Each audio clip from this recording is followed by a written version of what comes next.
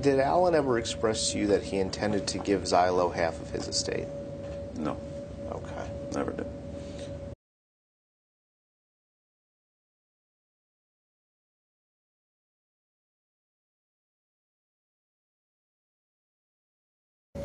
Did Allan Haymes ever, and I, I think I know the answer to this, but I have to ask the question.